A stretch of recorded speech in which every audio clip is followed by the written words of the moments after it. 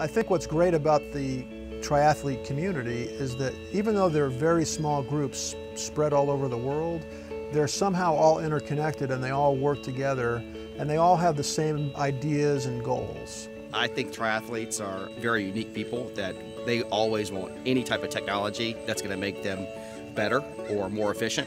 In long distance swimming, the biggest challenge I think is staying on course. I mean, it's pretty well known. The better your time is going to be depends tremendously on how well you stay on course because anytime you're off course, you're wasting time and effort.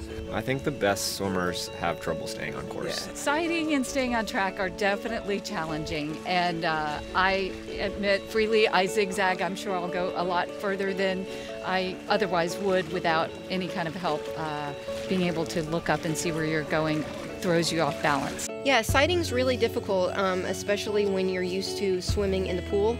Uh, so you have to incorporate looking up and sighting your buoys. So it's incorporating that into your pole, into your um, your stroke. So you know something along the lines of a, a, new equipment, new technology would be amazing.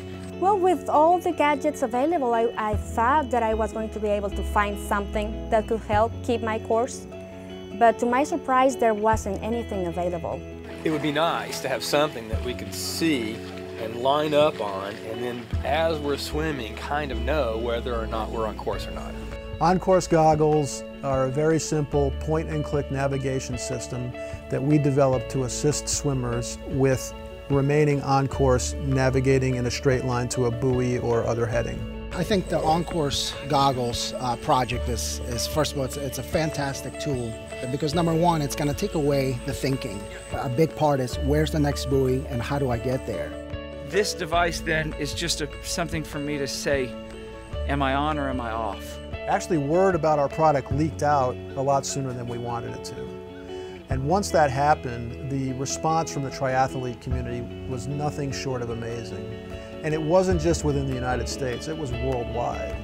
And I realized that we could reach a lot more athletes with our product if we use Kickstarter for crowdfunding. For every 10 people that told me that something could not be done, I found one person that told me that it could.